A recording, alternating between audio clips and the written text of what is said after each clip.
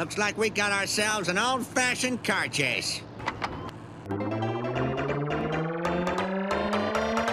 don't want to be a wet blanket, but maybe you should give yourself up. Marge, it's a matter of principle. I just can't let that deadbeat win again.